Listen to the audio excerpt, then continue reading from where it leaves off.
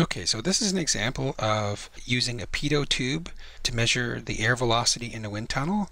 We have almost this exact setup with an inclined manometer in the lab, in the fluids lab in East Kerr Hall. So the problem says a pitot tube is connected to a manometer to measure the air velocity in a wind tunnel. If the specific gravity of the manometer fluid is 0.85, what is the airspeed? You can see in the diagram that you've got a 20 millimeter deflection of the manometer and you're told in the problem statement diagram that it's air at 25 degrees C and atmospheric pressure is 98 kilopascals and we're after calculating the air velocity here. So we start with Bernoulli's equation and we apply Bernoulli's equation between two points. That's how we will in fact, that's how we'll always apply Bernoulli's equation. And so we're going to pick one point here, point 1, well upstream of the pitot tube, but on the sort of the center line of the of the nose of the pitot tube. And then point 2 is going to be right at the stagnation point because a pitot tube uses the fact that the flow stagnates at the nose of the pitot tube, and that pressure rise is what causes the manometer deflection, which allows you to make the measurement. So now we write Bernoulli's equation at point 1 and point 2.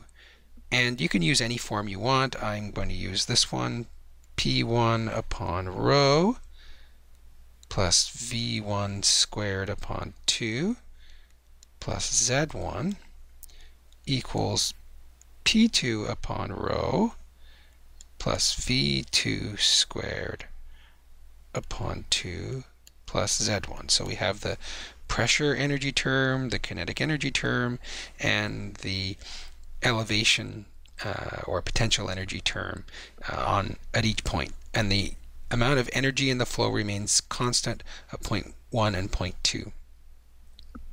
Now we can see, of course, this is a manometer, so the you can tell that gravity must be acting in this direction. So Z1 equals Z2. There's no significant uh, change in the altitude of the fluid, the elevation, so we can cancel Z1 uh, and Z2. And as we discussed in some detail, a pitot tube works by the flow stagnating, coming to a complete stop at point 2. So all of the kinetic energy at point 1 is converted into pressure energy, and so V2 equals 0 because we have stagnation. So we can cross out that term. So now we can solve, this is a very quite a simple example, we can solve for V1 and it's going to equal 2 P2 minus P1 upon rho, and then all of that under the square root.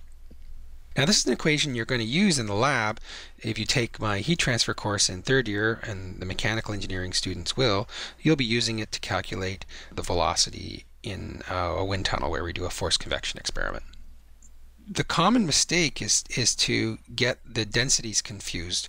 When this density here is the density of air. It's the density of the fluid because it came from Bernoulli's equation. And sometimes students get confused and they use the density of the manometer fluid. So we need to calculate the density of air. And I'm going to do that using the ideal gas equation of state. Now you could look it up in the table in the back of the book, but you notice the pressure is just slightly different than standard atmosphere, standard atmosphere being 101.3 kPa. So in the uh, lab, you're probably going to measure the pressure using a, a local barometer because the pressure varies from day to day and you should really correct for that. So let's use the, the local atmospheric pressure. It's the more correct way to do it. So the pressure is 98 times 10 to the third newtons per meter squared.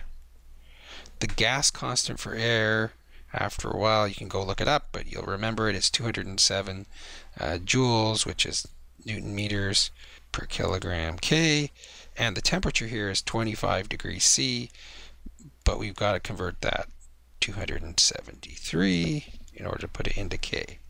And now you'll notice that the units should work out. K goes with K Newton goes with Newton and you can see we have kilogram on the top and cubic meters on the bottom which makes sense. So this works out to be 1.146 kilogram per cubic meter. It always amazes me that there's that much mass in one cubic meter of air. So that's the density of air. We now need to get P2 minus P1. And we're going to use the uh, deflection of the manometer. And the pressure at 2 here, of course, is being felt on the right hand side of the manometer, and the pressure at 1 is being felt on the left hand side of the manometer. And remember from chapter 2 that in air, air has such a low density, we don't consider the uh, pressure to change significantly with elevation. So the pressure on this side is P1 and the pressure on this side is P2. So let me just scroll to the next page and we'll calculate P2 minus P1 just using our manometer relations, which was the, the gamma of the manometer fluid times this height, which is uh, 20 millimeters. Remember that comes from, that's chapter 2. So let me just scroll to a new page so we can continue. Okay, so using our manometer theory, let me write this down. P2 minus P1 comes from the manometer. P2 minus P1 is then going to be the the gamma of the manometer fluid times h. We're told that the specific gravity is 0.8, so the the gamma of the manometer fluid is is uh, 0.8. Sorry, it's 0.85. 0.85 times the gamma of water times the the deflection of the manometer. So that's going to equal 0.85. The specific or specific weight of water is 9790 newtons per cubic meter and then 0 0.020 uh, meters. And that will give you the pressure difference uh, between the, the stagnation pressure at P2 and the static pressure at P1 and that works out to I got 166.4 uh, pascals or newtons per meter squared. So now we can make our substitution. Remember we had that that uh, V1 equals 2 P2 minus P1 over the rho of air square rooted. So we can take 2 times 166.4 newtons per meters squared over the density of air, which we calculated to be 1.146 kilogram kilograms per cubic meter. And you should always check, right? If we put in here that a newton is a kilogram meter per second squared, we should be able to check the units here.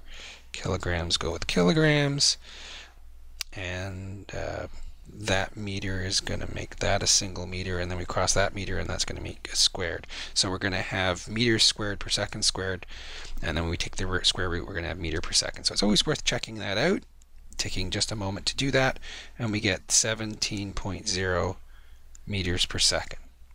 And that's the velocity of air in the wind tunnel. Now you can actually take that pitot tube in the wind tunnel and you can traverse it. We have it set up in the basement of Kerr Hall so that that pitot tube can be traversed and you can see how uniform the flow is across the cross section of the wind tunnel. And so that's a really important example, especially for uh, mechanical engineers that use wind tunnels.